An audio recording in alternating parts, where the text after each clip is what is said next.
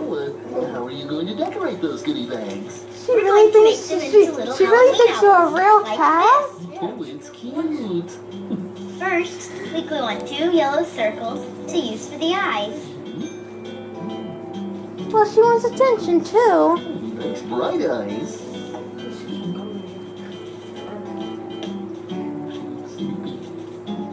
Then, we glue on two brown triangles to use for the ears. Let's see. Watch out for the pumpkin, Jess. They go right on top. You? This is going to be the beak, and it goes right here. Mm-hmm. Orange triangle. Mm-hmm. Now, I add wings. With glue. That's the better. Nice. And you're ready for a happy Halloween. You can fill the bags with treats. And when they're empty, they make fun. Oh,